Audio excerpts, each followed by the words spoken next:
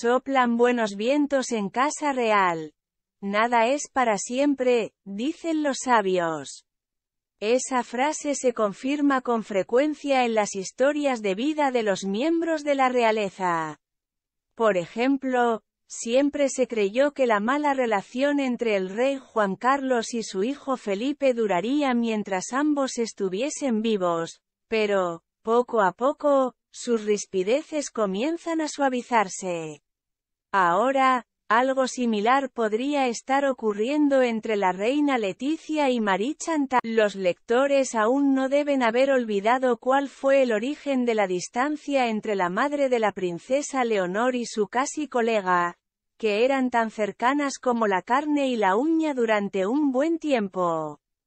Y es que en aquella célebre misa de Pascua que tuvo lugar en Palma de Mallorca en la que la reina consorte discutió con su suegra por no querer que pose junto a sus hijas y la princesa de Grecia hizo oír su descontento.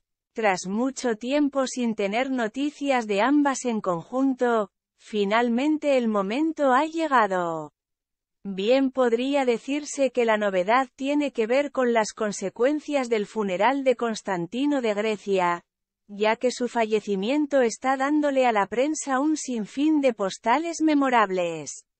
Es en ese contexto que la esposa del rey Felipe y Marie Chantal han sorprendido a más de uno y se consolidaron como las grandes protagonistas de las noticias del fin de semana que recién termina tal como puede apreciarse en las imágenes adjuntas que son propiedad de Europa Press, la reina Leticia y Marie Chantal salieron abrazadas de la cena que tuvo lugar este domingo.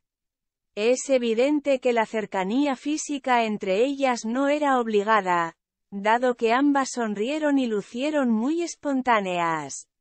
Según el citado medio, fue en la cena donde Marie le pidió disculpas a su colega por sus declaraciones del pasado y la periodista no habría necesitado más para enterrar el malestar.